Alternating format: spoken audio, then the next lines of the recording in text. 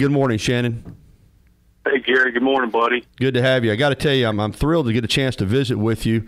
I was uh, had mixed emotions about contacting you because of the events that we're going to discuss, but I, I appreciate you coming on. Hey, no problem. I know that uh, you know obviously a lot of people in the Tuscaloosa area are uh, diehard listeners, and it's it's always good to uh, uh, chew the fat with you, so to speak, buddy. Well, this day five years ago um, is etched in all of our memories, uh, but for you and uh, your family, you live with it every day and will for the rest of your life. Your daughter, Loryn, at the time, 21 years old, uh, finishing up her curriculum at Shelton State, already accepted at the University of Alabama. She wanted to go to school where her daddy went to school, and she wanted to become a sports broadcaster, uh, something, of course, that is close to me, and I probably uh, would have worked with her. There's a good chance she would have come through our program at WVUA 23 and, and been an intern, and I would have gotten to know her. Uh, you look at her pictures, you can see the love for life that she had. Um, but her and, and 63 others that day lost their lives due to that tornado uh, in that, that tragedy. But you have not wanted her to lose her life in vain. A couple of memorial scholarships have been set up. Um, people continue to reminisce about the type of person she was, the enthusiasm and the energy that she had for life. So she may be gone from this earth, but Shannon, the great news is she's certainly not forget, forgotten, nor will she ever be. Yeah, you know, Gary, it's um, you know, it's it's it's definitely no doubt. It's uh, every day is a, a challenge, and I can only speak for myself. I mean, everybody deals with uh, grief in, in different ways, and uh, even though it's been five years, it seems like it was yesterday. Uh, but I will tell you, you know, through this uh, through this time, and you know, even today, I, Gary, I can't even begin to tell you uh, the amount of people that have tried to reach out to me today, just uh, you know, praying for you and your family, and et cetera, et cetera, et cetera. And and uh, I'm very humble and grateful for uh, the friends and and people that I don't even know uh, that are reaching out and, and lifting myself up, and not only myself, but just the people of uh, that tragic day uh, that have lost loved ones. Because again, you know, materialistic things that I've said throughout this, you know, these five years, you know, Americans are we're terrible about getting hung up on who's got this or who's got that, and it's really helped me personally put things in perspective. All these materialistic things can always be replaced. We can rebuild, but you know, lives can't lives can't come back. No, they can't. And uh, hers has been lost because of this storm. But as we are visiting with Shannon Brown, he is going to talk to uh, us about how she moves and, and, and continues to move on and, and inspire people through a couple of scholarships. Then right now, though, that day, uh, Shannon, you were coaching at Ardmore High School, I think, at the time, up there in North. Alabama, uh, and certainly all over the state there were weather outbreaks. Um, when did you know up there that this storm in the Tuscaloosa area, if you can recall that for me, was as bad as it was? When did you first get concerned about what was going on in Tuscaloosa? When was your first notice that this this thing might be pretty serious? Uh, you know, Gary, you know, as you talk about that, you know, I've got chills all over my body just instantly. I'm just like, you know, I'm, um, I, I had no clue. Uh, we were we were batting down the hatches up here, so to speak, in the North Alabama area, and I had no idea what was going on south of me uh, until I received a phone call.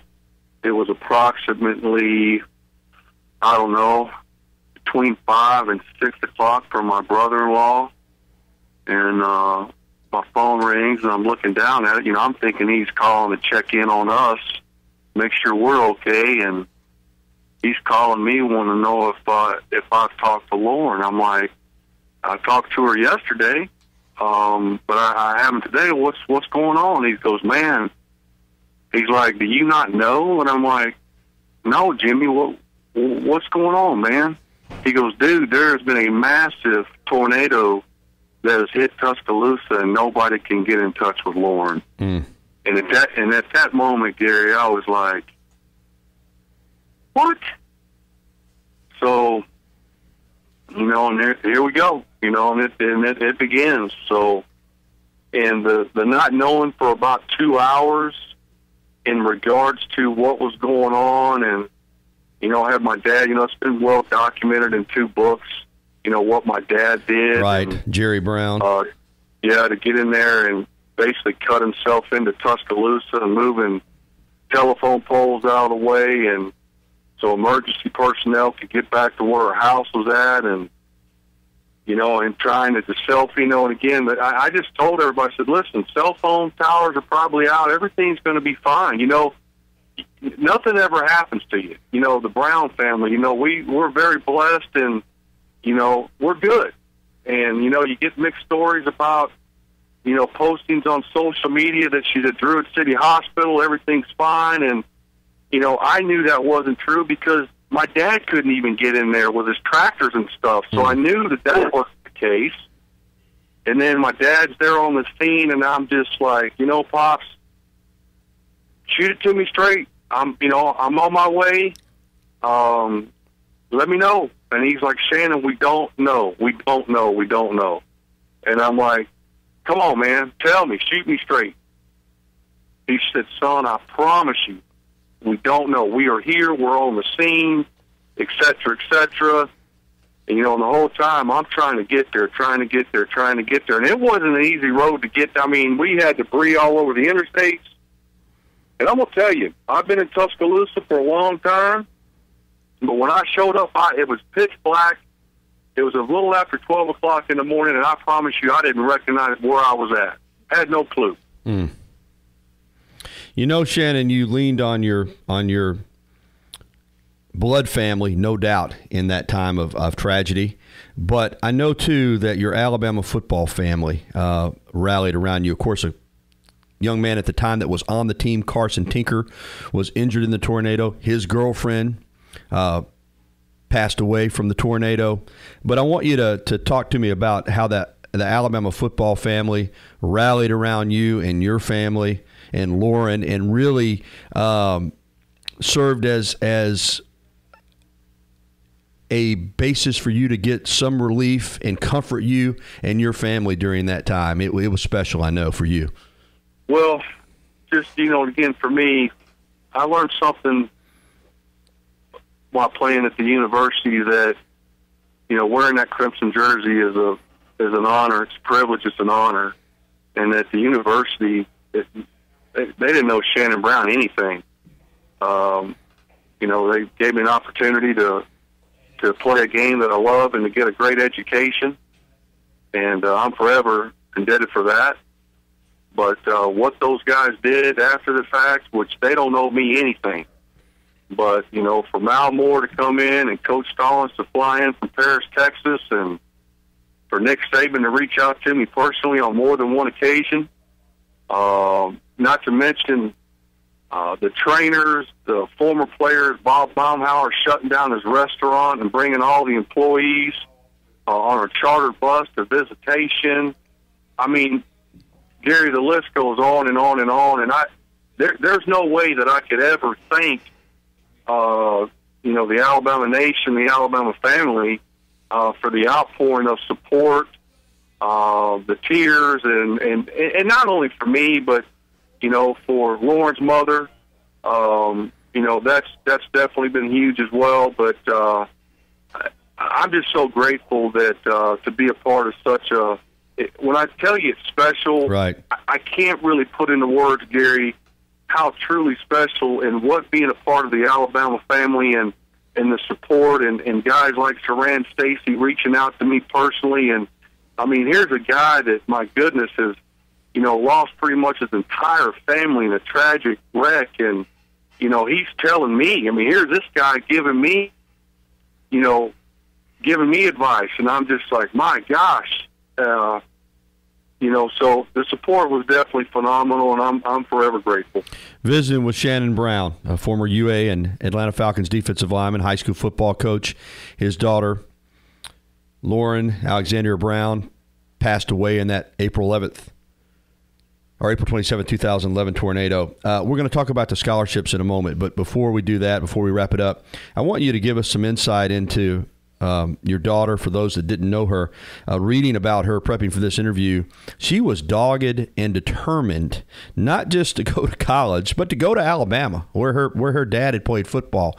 Uh, she came to Shelton State, uh, was just finishing up her coursework there, as I mentioned earlier, uh, had been accepted at UA, wanted to become a sports broadcaster. But talk, uh, speak of, of, of her determination and her desire to set goals and um, and reach them. And you know, it wasn't just going to be enough to go to college. She was going to go to UA one way or the other. Yeah, you know, obviously, um, you got to go back. You know, she was uh, she was a young child uh, during my days there as a player.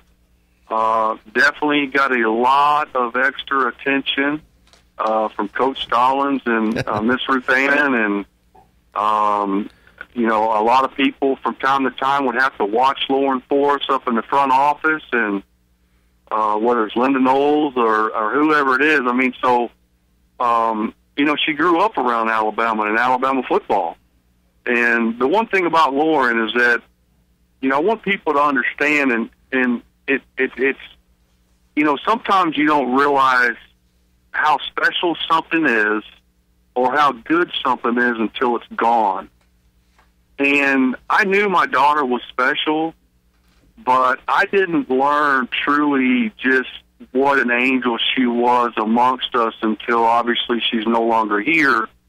At the stories and the things and the kindness and the love and the, you know, she was just one of those people that everybody wanted to be around. She was just so full of wow. of life and energy and and just spunky and you know just that kind of young lady that you wanted to be around. But you know, it was important to her. Loryn was very, very passionate about trying to please her father and living up to some expectations that, in all fairness, I, I never put those on her as a, as a as a father. I wanted her to be her own person.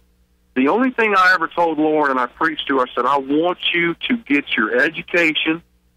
I want you to get a good career going and I want you to be dependent on yourself. I don't want you to have to get in a situation to where you have to depend on another man to make it in this world. You be your own woman, and if that time comes, so be it. But uh, so she understood about work ethic, and she understood about that if you want it, you got to go get it because anything in life worth having doesn't come easy. And um, I, I'm very proud of, uh, of where she finally found her direction uh, like most college students, uh, you know, she had her share time of, uh, you know, having fun in the nightlife, so to speak, and Dad had to show a little bit of hard love to wake her up. But uh, she was on track, and and I, and when she called me to let me know she got accepted into Alabama, I, I cried like a little baby. All right, awesome. Well, you know what? She's gone, but she's not going to be forgotten, as I said. And you're doing everything you can to make sure that her memory is carried on exactly the way it should be. A couple of memorial scholarships uh, endowed uh, in her name. I want you to tell us about those and and uh, you know how those came about and and uh, what people can do if they want to, uh, you know uh, help those scholarships continue. Tell us about that, Shannon. Well, you know, I definitely, I, you know, I, I would like to say that I, I mean I, I didn't have a whole lot to do with that. I've got to get all I've got to give all the credit to uh, to Loryn's mother Ashley uh, Mims uh, that has really been passionate Right. about driving those scholarships. And uh, the first one was the Loryn Brown Memorial Scholarship there through the University of Alabama, uh, which is um, uh, it's an endowed scholarship. Basically, what that means is it reaches a certain amount and then the university will invest that portion of the money, and that's what we use to give kids scholarships. Uh, we now have a second one started, which is the Loryn Lo L.O. Uh, Brown uh, Memorial Scholarship. It's not endowed yet. Yet we don't have endowed status on that one, so I would encourage people to, you know, it's the Loryn Lo. Uh, she had a website that she had started up called the Down Low. It was all about the sports. Kind of her deal was that you know, the 411 as you call or what's the down low, what's the scoop, what's going on, and and that that was the her mother came up with the the Loryn Lo uh, Brown uh, Memorial Scholarship. So, you know, definitely I, I appreciate the people that uh, that donate to this worthy cause because what Loryn Brown is going to do is her. You know, again, we talk about uh, heroes are remembered and legends are never forgotten. Well, Loryn Brown is definitely going to be a legend because the many lives that she is going to impact long after I'm dead and gone uh, will be far greater than the impact that I could have ever done uh, while being on this earth. And so, uh, you know, granted, uh, you know, playing at Alabama and all the accolades that Shannon Brown uh, accumulated over the years, I can promise you right now, uh, clearly I'd give it all back just to be able to hold my daughter one more time. But, uh, you know, what she's doing, um, I'm really proud. Well, Shannon, um, listen, man, I, I, appreciate you coming on the program this morning. I know it's not easy, uh, but we appreciate you telling us about Loryn and and uh, want folks to support the, the scholarship that's not endowed yet and uh, keep her memory living on. It was a, a day that we'll all remember, but I know this is not easy, and I just really appreciate it. Good to talk to you, man. Hey, Gary, thank you. And I just would like to say to all the people out there that uh, lost loved ones on this day, I'm, I'm praying for everybody out there. And, uh, you know, just stay Tuscaloosa strong. Keep growing. Thank you, Shannon. Thanks, Gary.